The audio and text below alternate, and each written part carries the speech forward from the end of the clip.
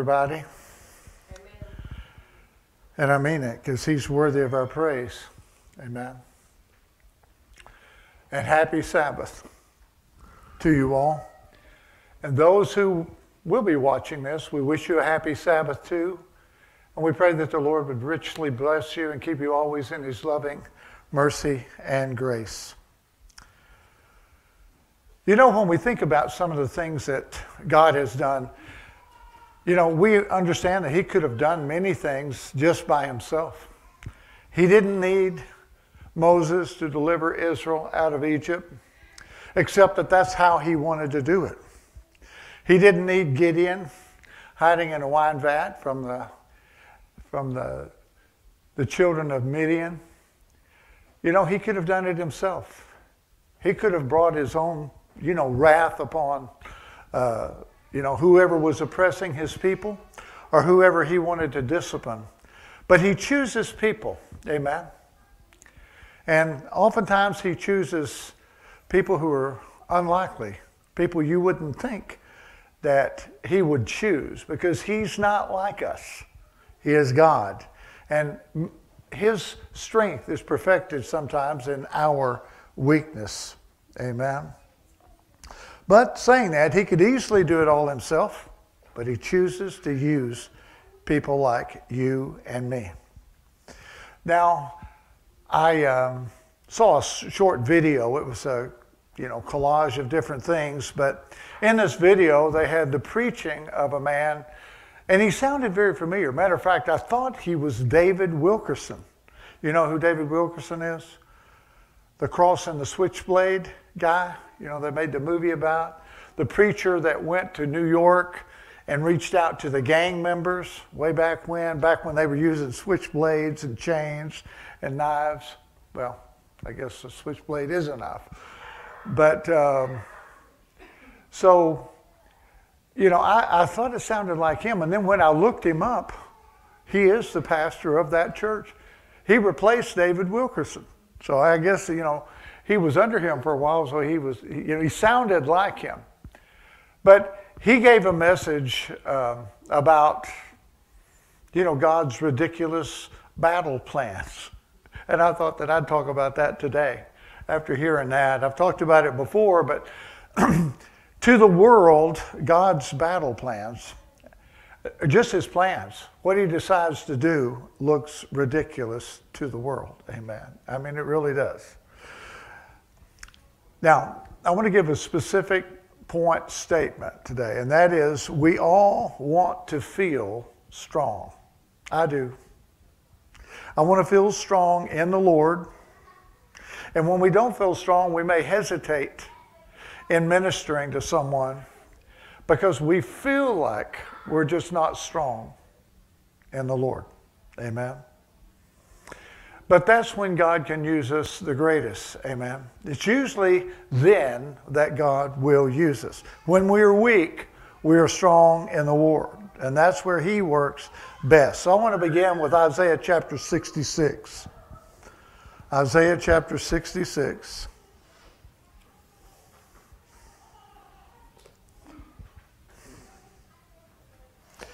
You know, oftentimes it says in the Bible that you know, before God can really use someone, he has to bring them low. And what that simply means is, is that they, they need to be humbled. And as Jesus said, the greatest in the kingdom of God are the humble. Amen. Here in verse 1 of Isaiah chapter 66, it says, Thus saith the Lord, Heaven is my throne, and the earth is my footstool. Where then is a house that you would build for me? And where is the place that I may rest? For my hand made all these things. Thus, all these things came into being, declares the Lord. And then this is the, the verse that I want to wanted us to concentrate on. In saying this, God says, well, let's look at why is he saying all that? He's saying, okay, you might want to do something for me. You want to build something for me you know, you might want to minister for me. You know, you might want to do some great service for me. But what can you really do that I really need? That's what he's really saying. Do you think I need a house? David wanted to build him a house, you know. Solomon ended up building the house, the temple of God, one of the seven wonders of the world, you know. But he, he's saying, You want to build me a house? Okay, you could build me a house, but what house could you possibly build me that I could dwell in? I made everything. I made the heavens and the earth. Everything that you see, I made. I brought into being. What is it that you have that I actually need? What is it that you have that I did not already create? What could you give me that I didn't give you already? You know, what is it? And so the answer to that is is our will. Ourself. Because in that God created us in his image, he gave us a free will. Amen. We can choose to do his will or not. We can choose to submit ourselves to him or not.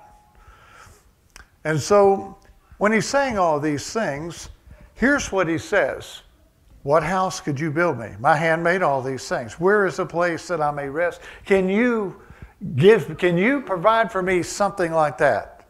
And the answer, of course, is no. But then he reveals what we can give to him, what we can provide for him. To this one will I look, to him who is humble and who is contrite. You know what that word means, contrite in Hebrew? It means broken hearted. To him who is broken hearted. How do you suppose your heart gets broken? You know, when David committed the sin with Bathsheba and then against Uriah by having him killed, by having him put on the front line, you know, he was oblivious to this for a long while. And then, you know, Nathan the prophet came to him and prophesied. And he told, you know, the story about a man who had one little lamb and another man who had all the lambs he wanted he could have, but he chose to take that one man's lamb, talking about Bathsheba. And David was enraged and he said, That man's going to pay. That man, we're going to suffer because of that. And you know, Nathan looked at him and said, You're that man, David. You. Now, was the Holy Spirit still with David? Yeah. How do we know? Psalm 51. What was David's prayer? Father, you know, he said, Create in me a clean heart, renew a right spirit in me. Do not take your Holy Spirit from me. He was broken. When, when Nathan came with the Word of God through the power of the Holy Spirit, the Holy Spirit in David convicted his heart and broke his heart. And he became contrite. And that's exactly where God wanted him to be. Now, why do you suppose maybe God let this go on so long? Why did he let it go on until, you know, David went to the extreme of putting uh, Bathsheba's husband on the front line to be killed? I mean, he could. Now, listen, here's the thing, folks. Let's remember this. All souls are mine, thus saith the Lord. Amen. That's Ezekiel chapter 18, verse 2. Every soul will sin. About that chapter 18 of Ezekiel says, All souls are mine, says the Lord. If he wants to allow or let a soul die in the womb, he can. If he wants to let a baby die, he can. If he wants someone to live to be 89, uh, 90, 100 years old, he can. It's, his, it's up to him because all of us belong to Him. Our children are His children. Matter of fact, He calls them that. He said, You made my children pass through the flame when you sacrificed them to the, uh, to the pagan idol Moloch. They're my children, they're not yours. You, they're on loan to you, but they're a creation of God, you know, and I planned their birth. And so he gives us children. He expects us to raise them in the fear and the admonition of the Lord. Amen.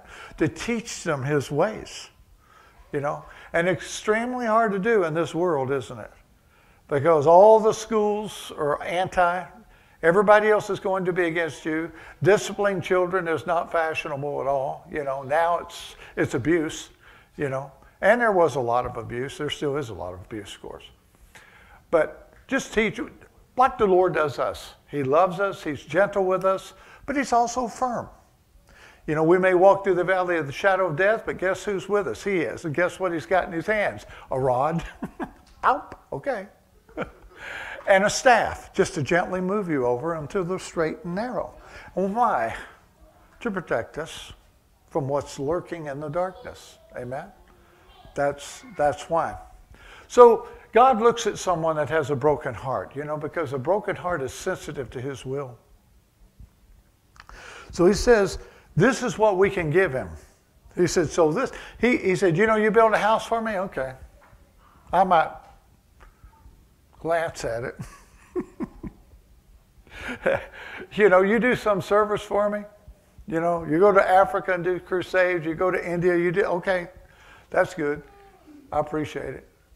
All of these things, but anything that we give God, you know, oh, well, I'm going to give you a great financial gift. I'm going to build a monument to you or, or something like that. Well, okay. I'm going to feed the poor. Fine, that's good. But you know, God could do every bit of that without us. Did you know that? Did you know that He could rain manna down from heaven right now if He wanted to? You know that uh, today, right now, he could rain food down from heaven. He could, he could cause quail to come. He could rain down manna from heaven. He, he could just deliver abundance of grain and, and crops for everybody. He could do all of that right now, and tomorrow there wouldn't be a hungry person on this earth if they just ate. Amen? Is that right? I mean, he could do that if he wanted to. He could do it, but he doesn't do it. He's done it though. It's not as if it's something he couldn't do or he's never done. He has done it. And he could do that, you see. And actually, the whole world could get together and feed the world if we wanted to, real quick, couldn't we? I mean, we could do that. That could happen. Really, we know that except for people who are held in such bondage by a uh, communist dic- dictator or something like that, where we would have access to, the rich nations of the world could come together if they wanted to and go feed the poor. You know, they could drop food out of an airplane, for that matter, even in places where you wouldn't be allowed to go. That could happen. So we can, my point in that is, we can give that to God. We can do that in the name of God and, you know, but uh, he could do that anyway. He could do that himself. But it says here, but to this one will I look, to him who is humble. That's who he's looking. What can you give him?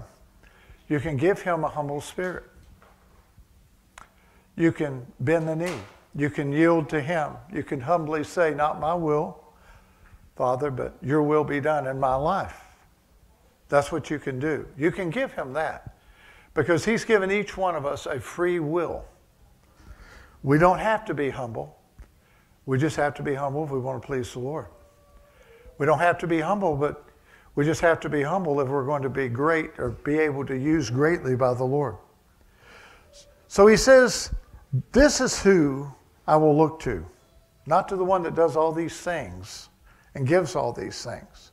But the one who is humble, who gives himself, gives his own will, and who is contrite of spirit or has been broken, his, his heart has been broken by the Spirit of God.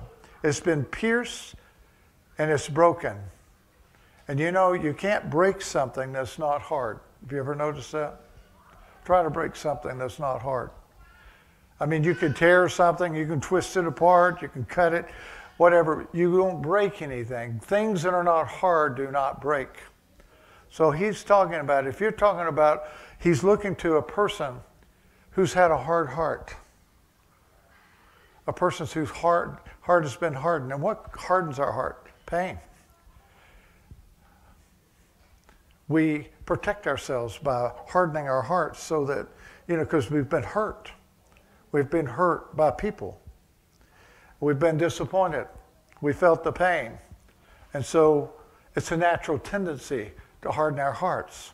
If you play guitar, you know, start playing guitar, you'll notice you'll start to build calluses, just hard places on the end of your fingers. And that's to protect your fingers. That's a natural reaction, you see. And once, and you're going to have pain until it's hardened. But after it's hardened, there is no pain. But where there is no pain, as far as like in our lives, there's no gain. Amen. We need the pain. You're, you know, a lot of times we run around. We see our destination, that's where we want to go. But we see that if we go straight through here, there's going to be obstacles and there's going to be pain and there's going to be suffering. And so typically what we do is we go all the way out of our way to go around that. It's like, you know, the Jews hated the Samaritans. And for good reason, actually, who lived in the northern kingdom. And Samaria was the capital of the tribe of Ephraim, who was a half brother or the brother of Manasseh, which were two of the sons of, of Joseph. And, um, you know, when the Jews would be on the other side of Samaria, and they would have to go back to Palestine, to Judea, they would oftentimes take a route that actually took them twice as long. Now, they could go straight through and be through and be back in Palestine in three hours by foot. But they often would walk six hours so they would not go through Samaria, which is why we find in John chapter 4 it's so remarkable when Jesus told his disciples, You go on up ahead, I'm going to Samaria. Because he had a divine appointment there at the well where he met a woman. A woman who had been married five times and was living with her sixth man. A woman who could only come to the well in the daytime. she couldn't come when everybody else was coming. So she walked up a hill in the middle of the hot, the heat of the day, you know. And that's exactly who Jesus chose. Now, is that a ridiculous battle plan? What was his plan to bring the gospel to Samaria? Well, I'll just go in there and I'll just do some great miracle, or we'll just heal a bunch of people and people will listen to me. No, God's plan is I think I'll have you meet a woman who's living in sin at a well at the, in the heat of the day, and you can preach to her, and she'll recognize you as the Messiah, and she'll go back into the city and she'll tell everybody that the Messiah has come. And she'll preach the gospel. That's who will preach the gospel. Well, that sounds like a great idea. Everybody will listen to her after all. Amen. She's got a lot of credibility. But that's God's ridiculous battle plan. That's how He chose to do it. And that's oftentimes how He chooses to do it. You need to pay your taxes to Caesar. You haven't paid your tax. Oh, okay. Let me go to the bank. Well, I got some, I got a stash under my my uh, pillow or under my my uh, mattress at home. Just give me a few minutes. I'll be right back. The Lord says, No. Uh, just Cast a, cast a net out there. Okay, we got a fish in it. We'll look in its mouth. Oh, there's the money for taxes. That's how God does things. Amen. But you know, God looks at a heart that is broken, a heart that says, okay, you know, I don't want to go through the unpleasantries of going through Samaria. So I'm going to go twice as far trying to get around it so I don't have to deal with it. And that's how we are. But a pain is part of it. You know, and, and, and the pain is sharing in the sufferings of Jesus. It's really his pain. It's really not ours. You know, when you come down to it, everything what's going on is simply the battle between the forces of light and the forces of darkness. It's a battle between, you know, Satan's army and God. That's what it's really all about. And if you're children of light and if you're children of God, then you're on a side that's going to be attacked by the other side. It's just simply a fact. That's just how it happens. So to this one will I look, to him who is humble and him who is broken hearted in spirit, or broken by the Spirit, and who trembles at my word. Now let's turn over to 2 Corinthians chapter 12.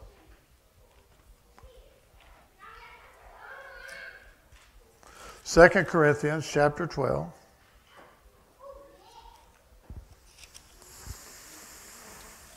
and we're going to begin in verse 1.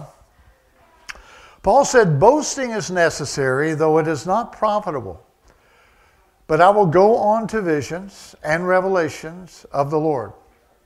So he's saying, I don't want to boast, but I'm going to because sometimes it's necessary. Sometimes I have to remind people what I have experienced, uh, what I have suffered, what I've gone through, the credentials that I have. And he said, The Lord taught me in Arabia for three years, you know. I know a man in Christ, and he's speaking of himself, who 14 years ago, whether in the body I do not know, or out of the body I do not know, God knows, such a man was caught up to the third heaven. And I know how such a man, whether in the body or apart from the body, I do not know, God knows, was caught up into paradise and heard inexpressible words which a man is not permitted to speak. On behalf of such a man, I will boast. But on my own behalf, I will not boast, except in regard to my weaknesses. Now, do you hear what he's saying? I'm not going to boast in everything that I've accomplished. I'm not going to boast in the fact that God chose me. I'm not going to boast in all the revelation. I'm going to tell you I had them, but I'm going to tell you I'm not going to tell you everything about it. I'm not going to give you any details. I'm not going to do all that. What I am going to do, though, is I'm going to boast in my weaknesses. You ever heard anybody say anything like that? Not me. But I will boast. I will not boast except in regard to my weaknesses. For if I do wish to boast, I will not be foolish, for I will be speaking the truth. But I refrain from this so that no one will credit me with more than he sees in me or hears from me. Now, notice verse 7. Because, because Place that in your life. Because. You might say, why? And God will say, because. But why, Lord? Why? Because. If he says anything, he says, because.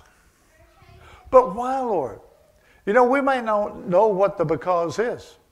We may not know what the why is. But it's enough for us to know that there is a why. Amen? But here Paul's wanting to know why did I have to suffer the thorn in the flesh? And God says, because. because of some blessing that you've received. You see. Notice he says, because of the surpassing greatness of the revelations, for this reason. Now, this is a reason. In other words, there's always a reason we may not understand it. We may not even be capable of understanding but there is a reason. Amen. And it's a righteous reason. And one day when we know the why, like I'm singing the song farther along, we'll understand all about it. We don't now. We don't. And Paul says, because of the surpassing greatness of the revelations, it is for this reason. Now, we could say, okay, you say, well, I didn't have all those. Nobody took me to the third heaven. I didn't hear inexpressible words. I mean, I, I, didn't, I didn't have all these. Well, you're called, aren't you? You're called out of this dark world, aren't you? Do you know the truth? Are you a saint of God? Has God has, you know, forgiven you and given you the Holy Spirit? Yeah? Well, that's enough. Has He promised you eternal life? Are you in His covenant, a covenant of mercy? And grace through faith. If you received the, the free gift uh, of uh, salvation, has He provided for you? Yes, He has. So, because of the surpassing greatness of the revelations, for this reason, and there's a reason why we endure anything. Now, we might say, well, I don't deserve that. The baby's going up the stairs. you say, well, I don't deserve any of that. Well, you know, it may not be about punishment. Maybe it's not about punishment. Maybe it's not that God is getting back at you or spanking you for some, some wrong that you did. I mean, Paul didn't do anything wrong, did he? He received blessings. He saw revelations. He went to the third heaven. That's why he had a thorn in the flesh. It was because of that. Why was Job stricken? And I mean, like no man has ever been stricken, really. I mean, except Jesus. Why was he stricken like that? Because he was righteous. That's what the Bible says. Because he was righteous. No other reason. Because he was righteous. Because of what he had received and what God wanted to give him. See, he had received a lot, but God wanted to give him even more. Because of the surpassing greatness of the revelations, for this reason, to keep me from exalting myself, there was given me a thorn in the flesh. So, was this for his benefit? Yeah. Was it comfortable? No. You could even say, hell no. you could say that. No, it wasn't comfortable. You like that, didn't you, Shirley? You'll feel guilty about it tonight. uh, no, it wasn't comfortable. I mean, he didn't, he didn't want it. He asked the Lord three times to take it from him. He, it, was, it, was an, it was an angel from the devil, the messenger from Satan that was buffeting him, tormenting him. But it was what kept him humble. And it's the reason why he didn't boast. That's why he didn't boast. Did it cause him to feel weak? Yes. But was he really weak? We find out later, no, he wasn't. That he was strong. So it says here, it was because of that. Because of the surpassing greatness of the revelations. For this reason. Now, you, let me tell you, he's put in an awkward situation. And people say, well, you, you who heal others, you preacher, you're the one that preaches faith and healing and deliverance. Why hasn't it delivered you? How come, you know, you're being tormented by this messenger from Satan? How is it that, you know, he hasn't taken that from you? If you're not prayed for yourself, do you not have faith? Do you think that he was being accused of all those things? Well, of course he was. Do you think he had to endure all those false accusations? And what if he said, now he's speaking to the church here, but what if he, to his enemies, he said, Well, I'll tell you, the reason why that I have this affliction is because I'm great. it's because I've been, the, I've been privileged to be taken to the third heaven, to paradise, and I heard inexpressible words spoken about me. That's probably true. But what if he had said that? Boy, everybody would say, You narcissist. Well, they probably wouldn't use that word. But, you know, they would have thought, Well, you're full of yourself, Paul. And they wouldn't have received it. They said, Well, you know. So that's what you're going to do. You're going to you're going to blame it on God. Uh, blame, you know, you didn't do anything wrong. Well, neither did Job. and everybody thought that he was in sin. Sometimes God just puts you in that position now, and there's not a whole lot you can do about it. And with me, I, I realized that all you can, you know, really the best place to be, the best place to do uh, bless, best thing to do is what Jesus did. Just be like a lamb led to slaughter. Don't say anything. Unless someone honestly asks you, you know, but just don't defend yourself. Let the Lord, you know, do it. and it's for this reason. What is the reason? To keep me from exalting myself. Why would he exalt himself? Because of the surpassing value of all the spiritual experiences that he's had. There was given to me a thorn in the flesh, a messenger of Satan to torment me. It literally means to beat me up, to beat on me. That, listen, the Apostle Paul, we find in 2 Corinthians chapter 11, that he was beaten. Well, you know, he, he went through that before we get to this chapter. We're in chapter 12. So just the previous chapter, he talked about how many times that he was uh, beaten, that he was stoned, that he was whipped, that he was beaten with rods and, and by, you know, scourging whips, and, and just beaten, he said, without number. He couldn't even count the amount of times that he was just beaten. And he was in dangers, and he was in the, the sea for, a, you know, out in the ocean for a day and a night. And he suffered exposure and betrayal at the end of his life, almost everybody left him. That's what we see in his last letter to Timothy. All have left me. Demas has, having loved this present world, has departed and left me. So here he's being beat up by the devil. So he's beat up by the world. He's beat up by the religious establishments. He's beat up in the Gentile cities because he's preaching against their, their deities. And he's preaching Christ. And he says the reason was because of the surpassing greatness of his revelations and to keep him humble and to keep him from exalting himself. God was looking out for him. Amen. Concerning this, I implored the Lord three times that it might leave me. And he has said to me, My grace is sufficient for you, for power is perfected in weakness. Most gladly, therefore, I would rather boast about my weaknesses. And he says, Why? So that the power of Christ may dwell in me. Therefore, I am well content with weaknesses, with insults, with distresses, with persecutions, with difficulties, for Christ's sake. For when I am weak, I am strong. Now, me, I hadn't got there yet. I know y'all think I have, but I haven't.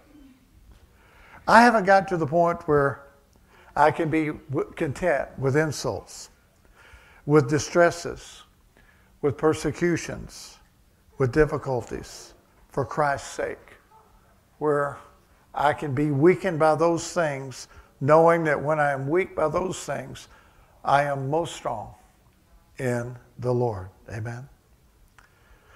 Now, let's think about God's ridiculous battle plan to deliver Israel from Egypt.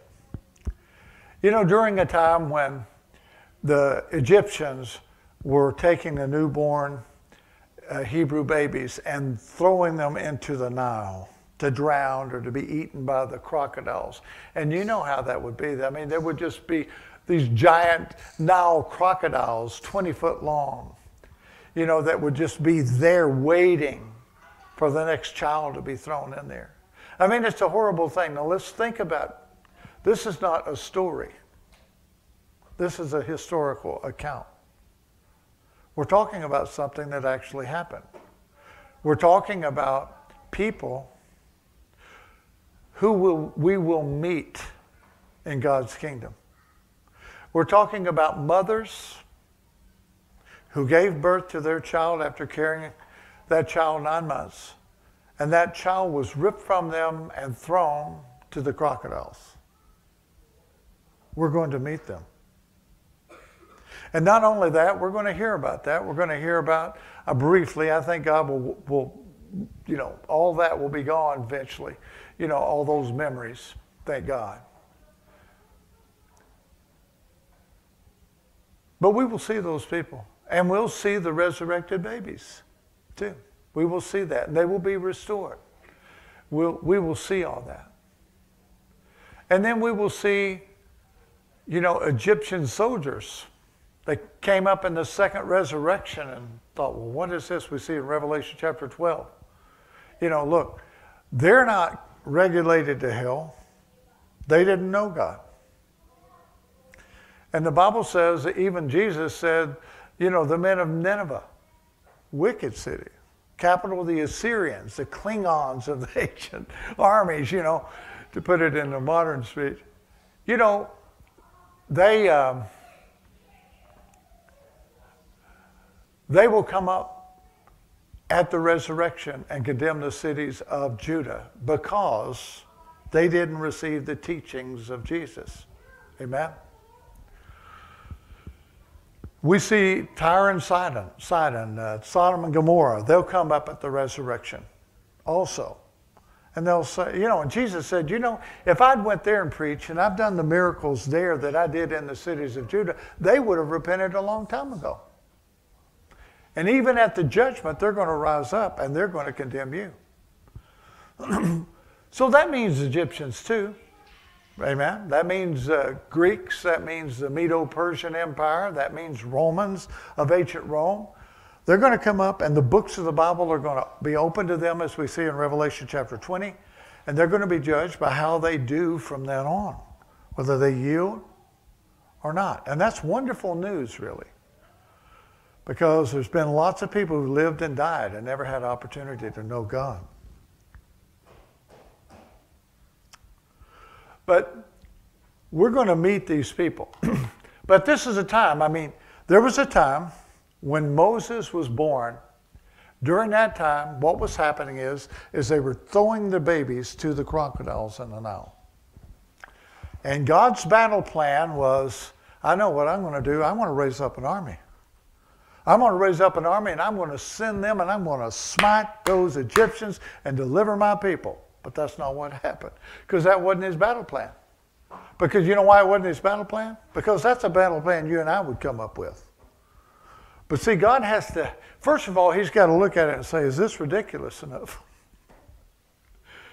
I mean, is this ridiculous enough?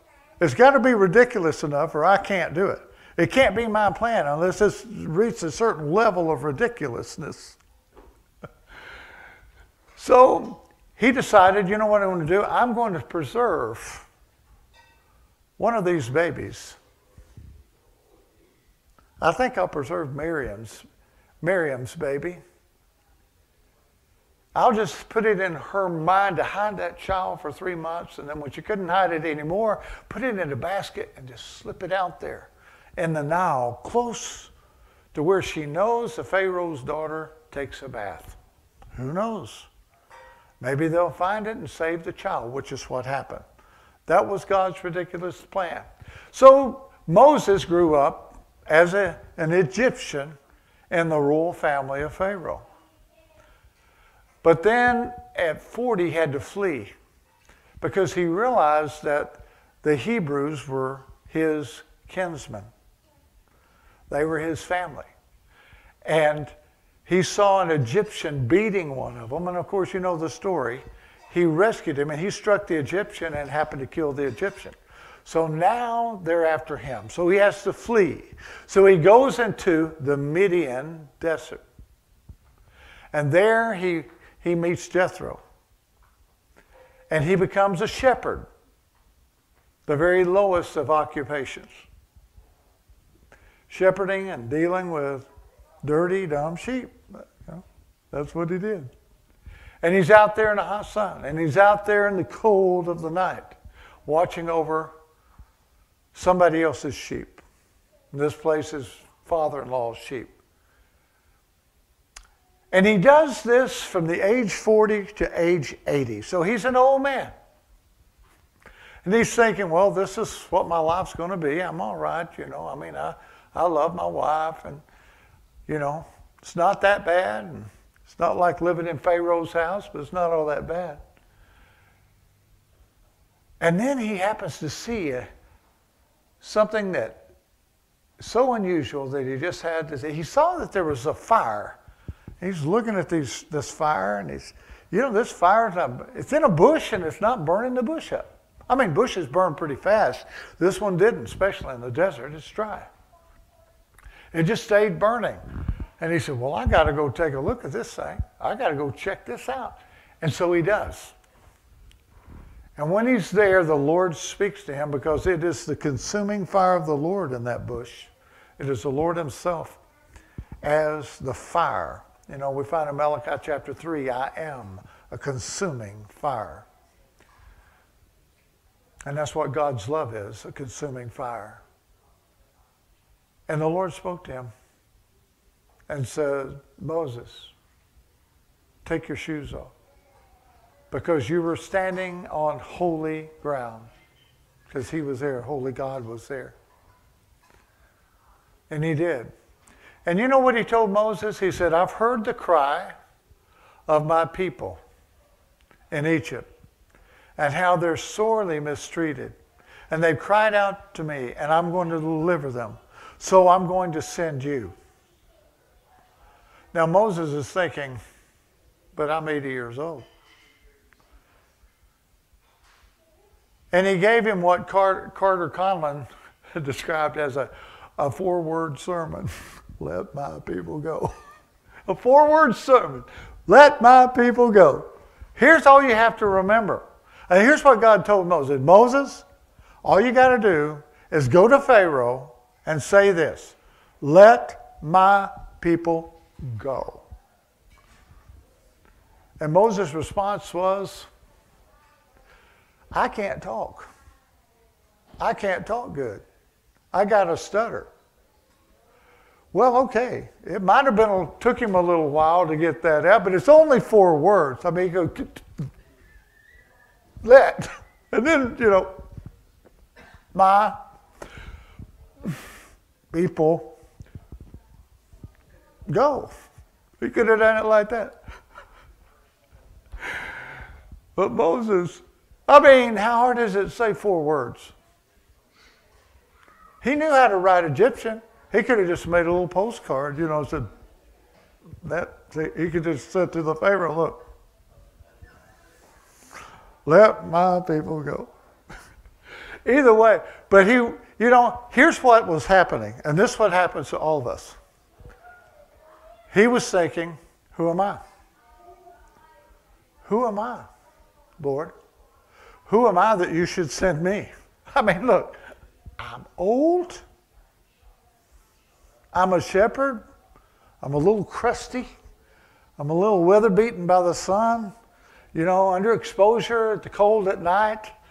I don't look so good. I remember, you know, Pharaoh looked like he takes baths and milk and honey. I mean, you know, I go there and they're all sophisticated, you know, and here I am. I mean, I don't have I don't have the right clothes for it. and besides that, we're out here in the desert. There's no J.C. Penney nearby. It's not like I can go buy a new suit. I mean, have you considered this, Lord? You might devise a better plan. But God says, no. You see, if there's a J.C. Penney here, you might go to get all dudded up. You know, you might, you know, kind of clean up before you go and all that. But you know, wash your hair, cut it, you know, get a perm or whatever it happens to be. Before you go, put some lotion on your hands or something. But see, that just wouldn't be ridiculous enough. It's my battle plan.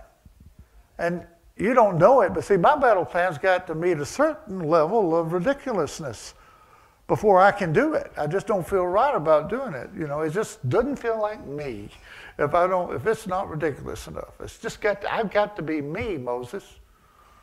I've got to just be me. I've got to be myself and true to myself.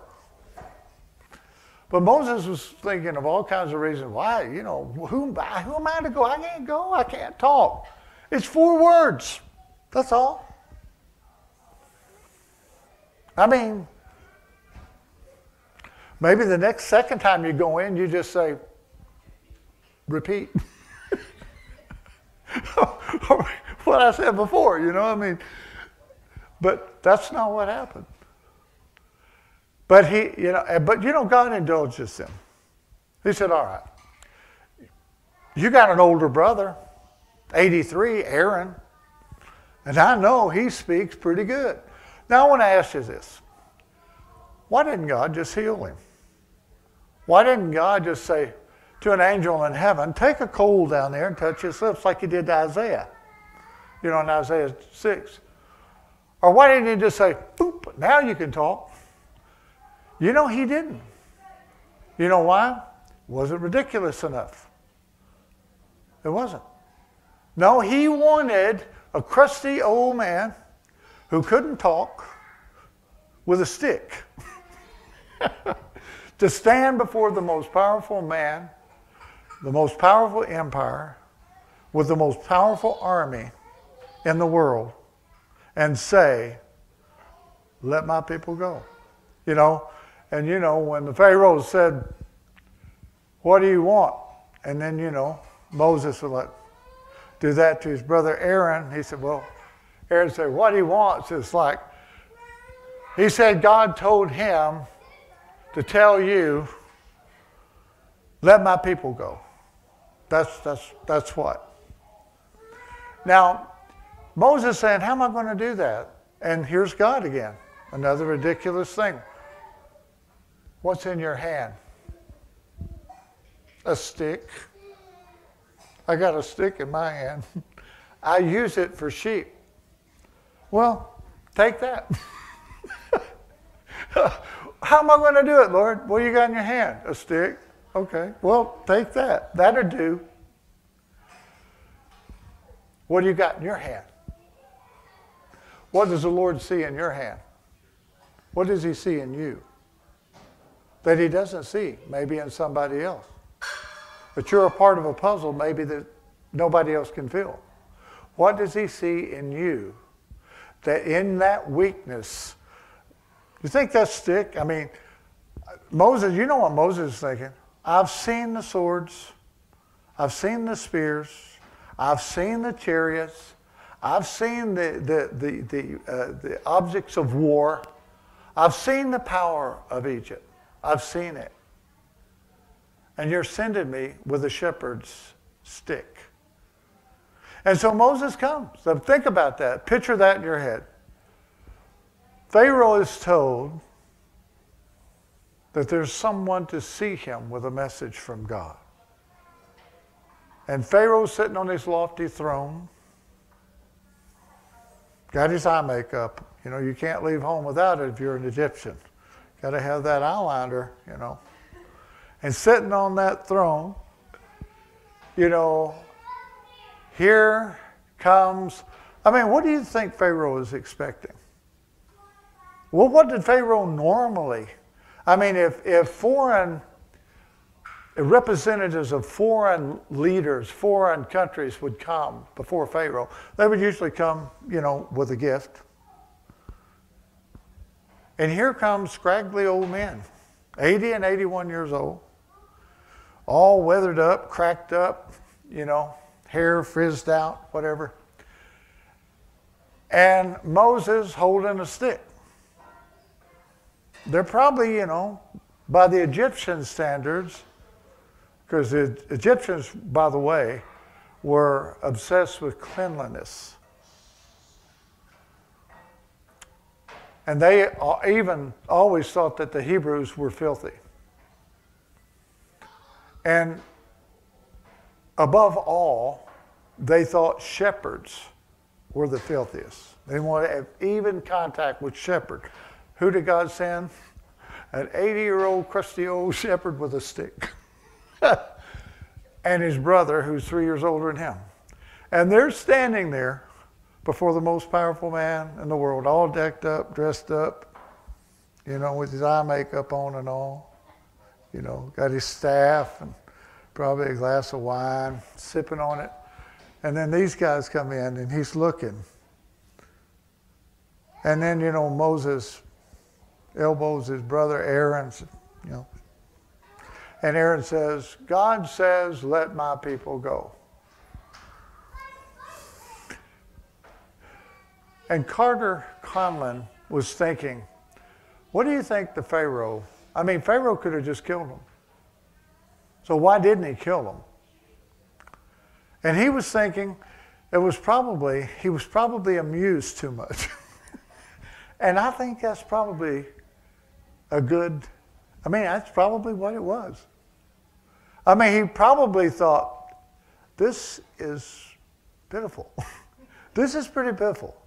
I mean, here, these two guys, these two shepherds, are saying to the greatest leader on the earth, to the greatest nation, the greatest army, let my people go. And they have nothing but a four word sermon from God and a stick. But even then, you know, when Moses was thinking about the sticks, God said, Don't worry about it. If you throw it down, it'll be a snake. Well, that's, I think, I mean, all of Egypt would run from a snake, wouldn't they? They've never seen a snake before. Surely that would cause all of them just flee the land, let the people alone. you know, again, ridiculous. Why not just, you, you know, do something else with that stick. But no, I'll make it turn into a snake. But that's God's battle plan. And that's how he did it. Now, after a while, of course, God started doing many miracles and things like that. And eventually, they let the people go. now, Gideon, same thing in Judges chapter 6. Here's Gideon hiding. And the Amalekites, but mostly the Midianites, you know, were would come every year during harvest time. And it says they were like locusts on the land. And they would come and just take everything. They just take everything. Just whatever they wanted, they take take from the children of Israel. They they would come every single year. And so God and the, the Bible says that the children of Israel had not been obeying him. And so God allowed these things to happen because they were not obeying him. But then eventually, now here's the thing, folks. God started, he decided to have mercy. Amen. He decided to have mercy. They still had not turned to him. There's nowhere in there where a prophet came and said, if you'll turn back to God, you know, then he will take care of your enemies. Nothing like that was said. Nothing was said like that. So God just decided to have mercy. He was tired of it. He decided to have mercy. So he said, okay, who will I choose? I know. I'll choose Gideon. So he had an angel of the Lord come to Gideon while he was there threshing, I think. And I think he was threshing at the wine vat. I'm not sure, but I think so, which just means he was hiding from them. And he said, Oh man, great man of valor. And, you know, Gideon's looking around and saying, Are you talking to me? Again, God's ridiculous battle plan. And Gideon, and, and, you know, God says, Okay, I'm going to, I've heard the cry of my people, and I'm going to send you to deliver my people from the hands of the Midianites and the Amalekites that were like locusts as far as you could see on the land, just camped outside of Israel. And I, am going to deliver you through them. And he said, Who am I? Do you, do you not know? Did you miss the memo, Lord? That I am of the least tribe? I'm of the tribe of Benjamin. Not only am I the from the, the lowest tribe, the least tribe in Israel. I'm from the least family in that tribe, the smallest one. And not only that, I'm the least esteemed in that family. What you're, you're calling is the bottom of the bottom of the bottom of the barrel. You might want to reconsider. They said, No, I think, I think you'll do. I think I'll just choose you. But you know, here's what he told Gideon to do. And Gideon is a timid man. He said, Now, Gideon, here's what I want you to do. First of all, your dad has a ox, and it's a strong ox, and I want you to go over there and borrow that ox when he's not. Don't ask him about it. Just you know, borrow it while he's not looking. You may have to do it at night while he's asleep borrow it, and use that strong ox to pull down the altar of Baal. And then I want you to pull down, cut down the Ashtoreth. And Ashtoreth was those wooden deities, you know, that they that were the female sex goddesses. And so I want you to tear those down. So he did while everybody was asleep. The next morning, you know, when the people came out and they saw that their temple of Baal was gone and the Ashtoreth was cut down, they were furious. And someone said, Well, I know who did it. Gideon did it. Gideon did it. And they said, Well, surely we're going to kill him. We're going to kill him for doing that. But then Gideon's father said, Now hold on just a minute.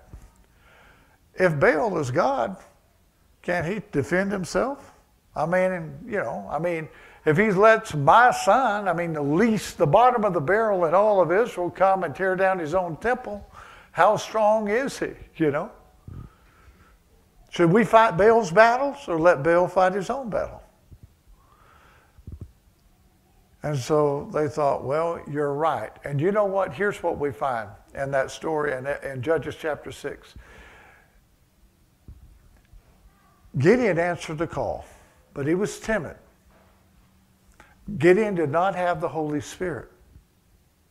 He was not empowered by the Holy Spirit. He did not have discernment from the Holy Spirit. He was not being led by the Holy Spirit. But he consciously made a decision to obey the Lord.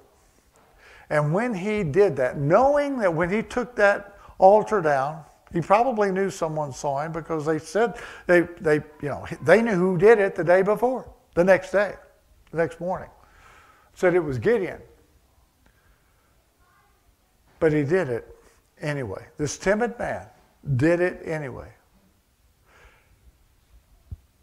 And since he did that, it says that next morning, the Holy Spirit came upon Gideon. And now Gideon is empowered by the Holy Spirit. And God can operate because the Holy Spirit is God in you, working and using his power in you. And so he told Gideon, here's what I want you to do. I want you, you're going to go out to meet them. So Gideon enlists people. He has 32,000 people. He shows up to meet the Lord with 32,000 soldiers. And the Lord said, Well, that's just too many. Tell them, ask them who really wants to fight and who wants, would rather go back home. So he did, and 22,000 said, I want to go back home. they didn't have a heart to fight. So 10,000 remain, and God looks and says, That's just not ridiculous enough. Even though the Amalekites and the Midianites are like covering the entire land as far as you can see, and they're trained soldiers. Two, 10,000 is just not enough. Take them down to the river. Everybody get a drink, you know. And it says there that, you know, some lapped like a dog. It didn't mean they were laying on their belly, actually. Actually, in the Hebrew, it means that they, they lapped from their hand like a dog and the others sipped. So some lapped with their tongues and others sipped. And he separated them that way. And there was 300 that he chose. And he said, I'll just use 300. So here's what I'm going to do. What's the battle plan? Okay, here's the battle plan. You 300, I want you to take a pot and a lamp like, you know, put your fire in the pot like a lamp, and take a horn. And you go out there to where they are, and then get in, you tell everybody on your signal, all at the same time, you'll blow the horn and you'll break the pot. And when you break the pot, then it will reveal the flame that the pot is covering. Now that sounds like a plan. That'll surely strike heart uh, you know, strike fear in the hearts of hundreds of thousands of trained soldiers. They've never seen fire before. I mean, they've never heard a trumpet before, surely. That will do the trick, right? You know? But Gideon was, and Gideon, God told Gideon, he was very patient. He said, Now, if you're still a little bit afraid,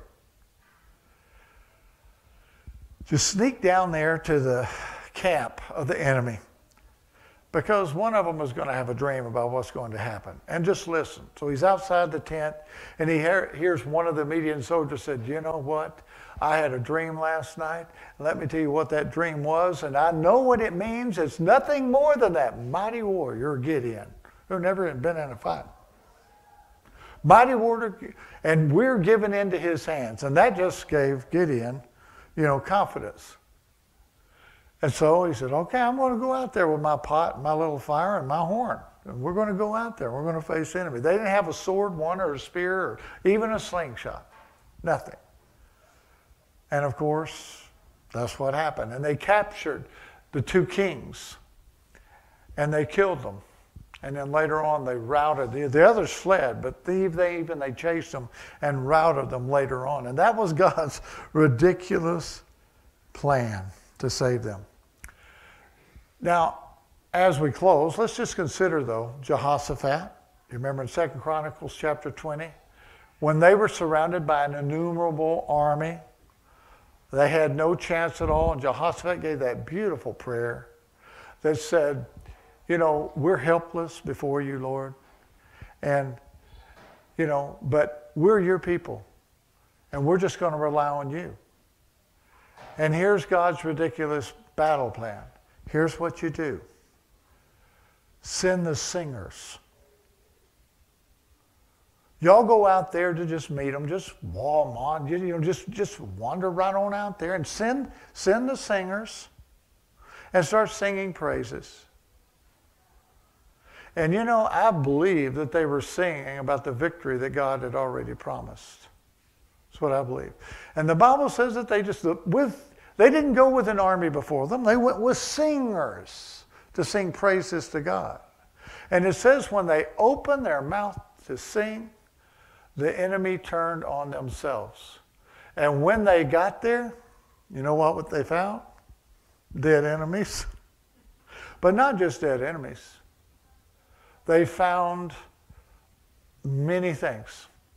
I mean, they found all kinds of food, all kinds of weapons, all kinds of tools that they needed, clothing, everything. I mean, there was chariots, there were wagons, there was all kinds of things, that blankets, everything that the soldiers needed. Plus, I knew they would they would have taken sandals off the soldiers' feet, the dead soldiers' feet. You know, they would harvest whatever they had. In other words, they plundered the enemy. They took. The enemy came for them. God turned the enemy on themselves and gave them the enemy's stuff. That's what happened. And what was God's ridiculous game plan? Battle plan? Okay, here's what I want you to do send the singers.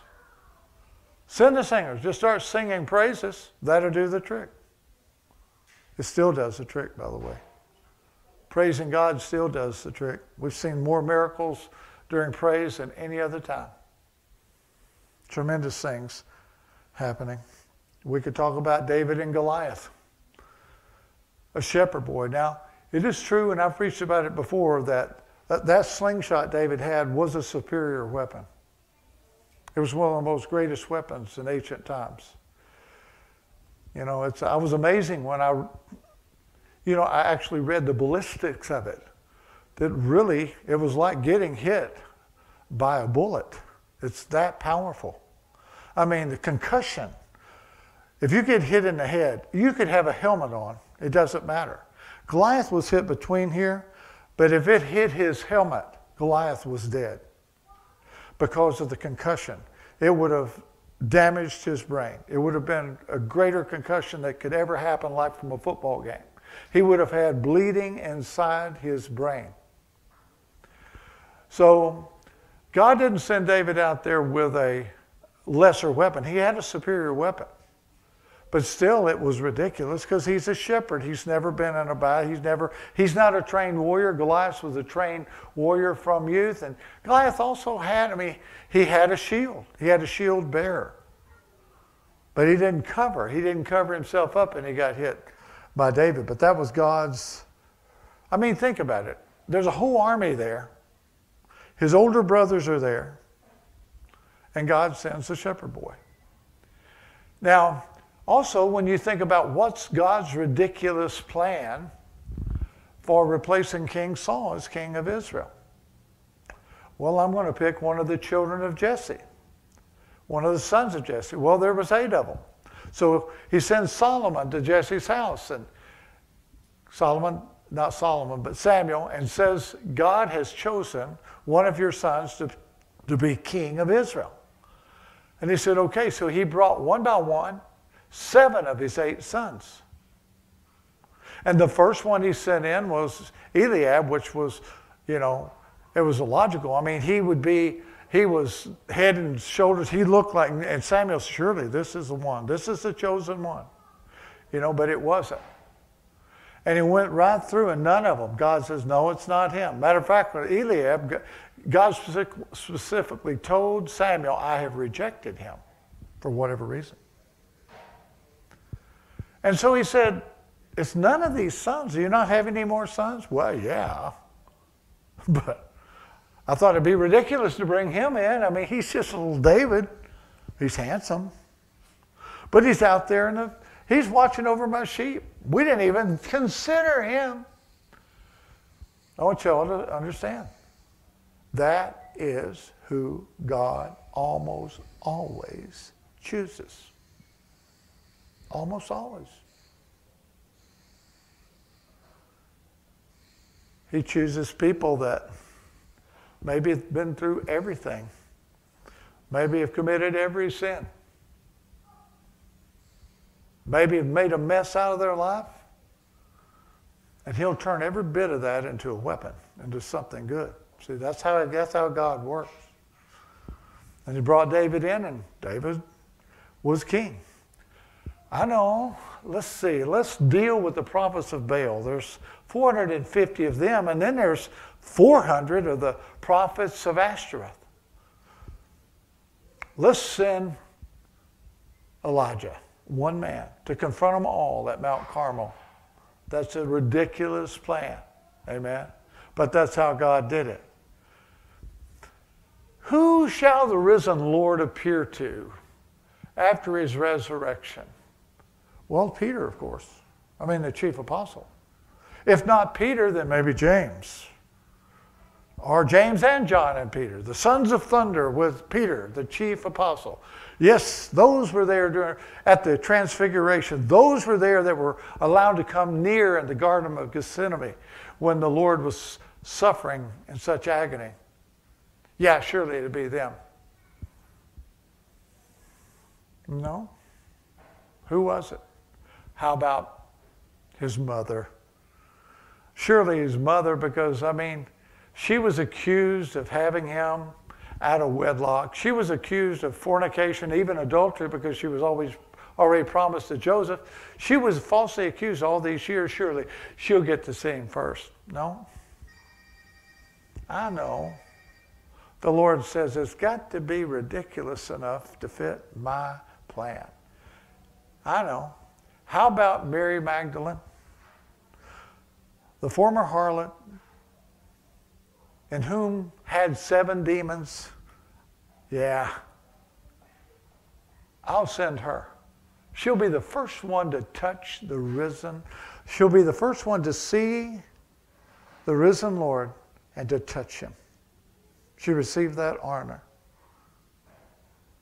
And that's how God works. That's how he does it. And that's how he still does it today. And we find, and I won't go there, but 1 Corinthians chapter 1, which you should read. Paul says, Consider your calling, brethren. Not many noble, not many mighty are called. But God has called the foolish of the world in order to confound the mighty. Now, Paul, you could say, was mighty because he was a great teacher, surpassing all of his contemporaries. But then God humbled him before he could even use him. Amen. He had to break his heart before he could even use him. So Paul had to become. And Paul said, you know, called himself the least of all apostles. Maybe we'll read a little bit of that. But when you think about, well, Y'all can just read it. 1 Corinthians chapter 1, 17 through 30.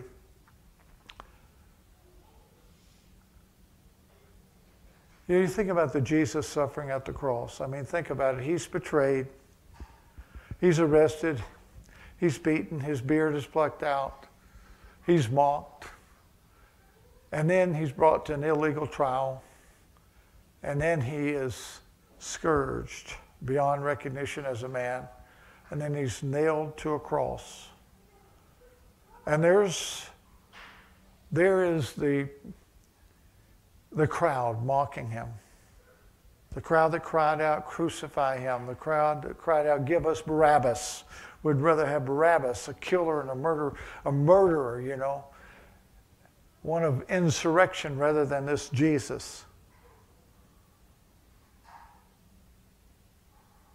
And he's on the cross. And when he's arrested, all the disciples, Peter, the, you know, James, they all run. And there's the crowd out there, but you know what? There's three people, three significant people before the cross. You know, I, I know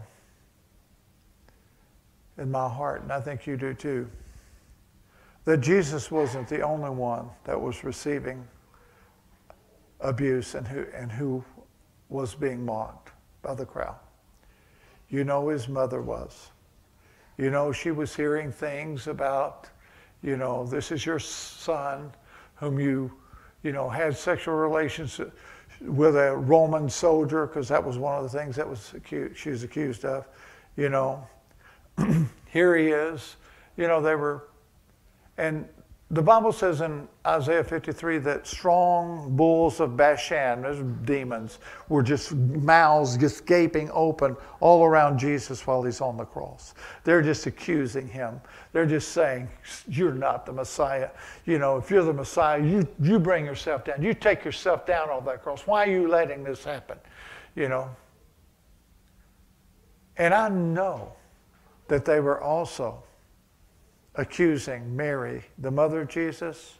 And you know who else was there? John, a young fisherman, and Mary Magdalene.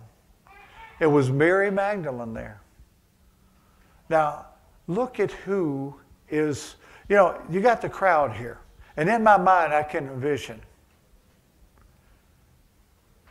Mary Magdalene can't stay back with the crowd. She can't stay back there.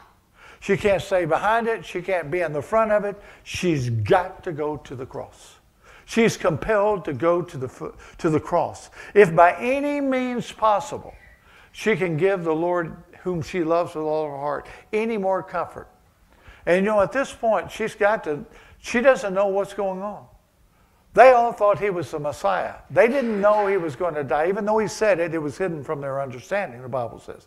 They didn't know. They thought he was going to be a conquering hero that would drive the Romans out. And here he is dying on a cross, unrecognizable as a man, after being mocked. And everybody who followed him, who loved him, and who was fed by him, and who was blessed by words that no man has ever heard before, and have received the miracles and seen the miracles, a man who walked on water, who calmed the sea, who commanded the wind to stop. All of this. A man who was adored and followed, and now he's mocked. And now people are happy that the great man has fallen.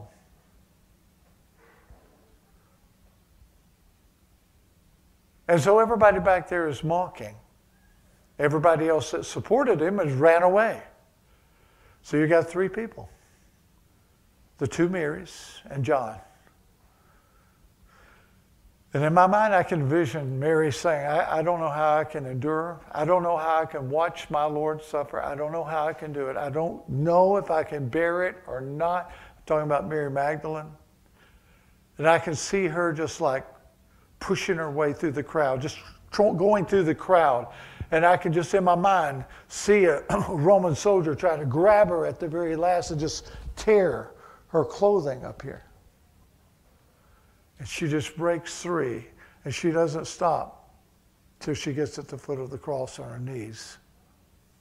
And she endures watching the suffering, the horrible suffering of the Lord. And I've often thought, you know, Mary was kind of like alone in a way. You know, those demons were saying, Don't you know this looks bad? Don't you know there's rumors already that you're having an affair with him? Don't you know that already? The Gnostics, you know, and they're, they're say, they say that, you know. Don't you know that? I mean, come on. He's got disciples and you, a prostitute, you know. His mother's not even following him everywhere. You're following everywhere the, the disciples go. Mary and Martha, Lazarus' brother's not following him everywhere, but you are. See, it looks kind of fishy. It looks kind of, yeah, you know, something's going on there. That's what it looks like. But it wasn't like. Jesus didn't, he didn't worry about it. Probably needed to be a part of that, to be a part of God's ridiculous plan. It wouldn't be ridiculous enough if you didn't have Mary Magdalene. And even at the cross, it's ridiculous. There she is. And you know, there's no account in the Bible of, of, Jesus even recognizing her there and saying nothing to her as she stands there. And I think there has to be some type of a social distance between her and Mary, the mother of Jesus, and John, his beloved, you know, disciple whom he loved. But he talked to John and he talked to his mother. And he said, Mother, behold your son. Son, behold your mother. So he placed them together. He said, This is your mom from now on. And this is your son from now on. It may not be written that way on earth, but it is that way in heaven. You know what Ephesians uh, chapter 3 says? That there are families named in earth. That there, every name of every family is derived from heaven. And it says, whether on earth or in heaven. And I don't know exactly what that means, but I know that angels don't procreate. So I know it's not talking about angels and their wives. Amen. But there are families named in heaven, as well as there's families named on earth. And I believe that when Jesus said that, behold your son, son, behold your mother, that was, obviously that wasn't on the earth, even though it was acted out after that on the earth, but that was talking about named and ordained in heaven. Amen. That now is revealed at that time. Maybe it wasn't, wasn't revealed before, but it was revealed at the cross at that time.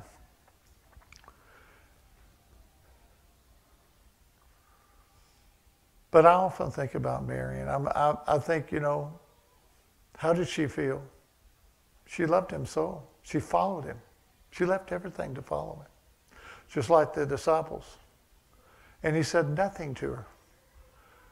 And it was hard for her to watch him suffer, and she didn't want to. And I know those demons were just making her want to just run, run away. But she wouldn't. She wouldn't leave him. And she was the first one to the tomb three days later. She went back and told the disciples his tomb is empty, only two of them even bothered to go look Peter and John.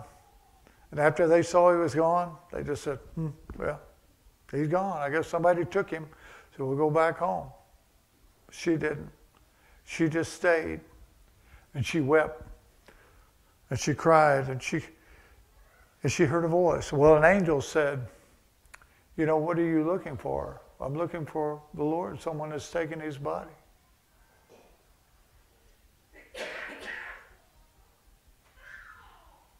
And then she heard the voice of what she thought was the gardener.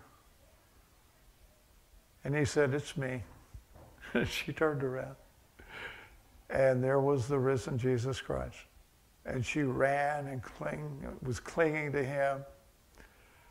And she received the honor. A demon possessed prostitute, was chosen before the foundation of the world to be the first person to see the risen Jesus Christ, the first one ever born again from the dead, and to touch him. But that's just ridiculous enough to be a part of God's plan. Amen. Just like sending out fishermen and tax collectors. Just ridiculous enough. So when we think about these things, God has never changed. That's the way He is. And don't think of yourselves as, well, one day when I get spiritually strong, when I, you know, I'm going to pray, I'm going to pray myself up. When I pray myself up, then I'm going to do something. you know, we will never not be hypocrites. We're all hypocrites. We're all sinners, recovering sinners. The sin is not imputed to us. But that's who we are in the flesh, you know. And um,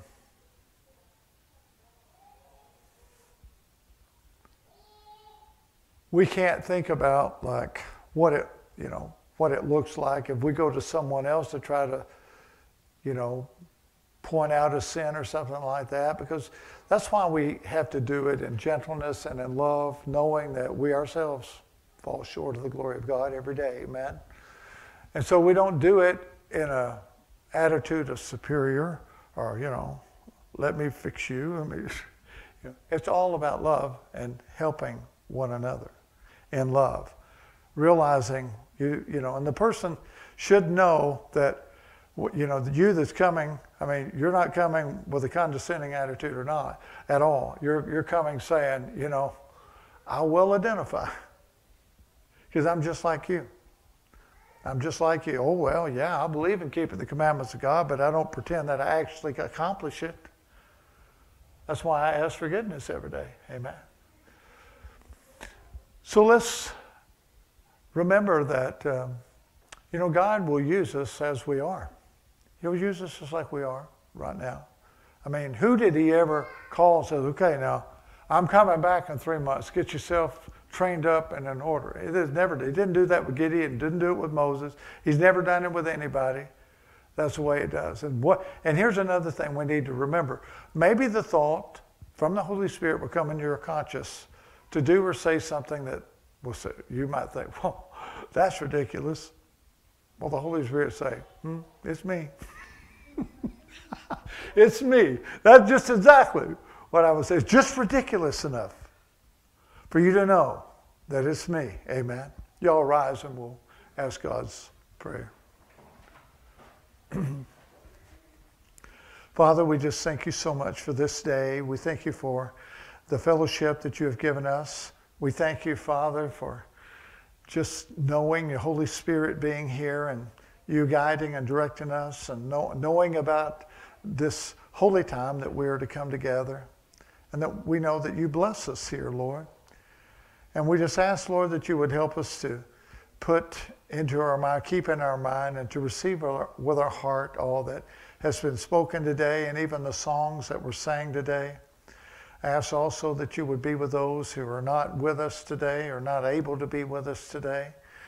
And uh, we know that there are people that can't come because of COVID risk. And we just ask, Lord, that you would bring that to an end and prepare us, Father, for this time that we're entering into this great time of trouble like the world has never seen before.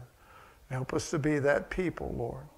I ask that you would forgive all of those who speak evil of us, all, of those who malign us, Lord, or and I ask all of, for those who are hurting and in pain, and uh, you know this is a time where so so many of us are in pain and and we've gone through so many emotional ups and downs, Lord. I just ask that you would be with all of us wherever we are, Lord, in that, and that we would not turn on one another, but we would turn to one another, and that though we may not be able to walk and fellowship, we can pray for one another with a sincere heart and love. So we ask for your dismissal now, Lord, in Jesus' name. Amen.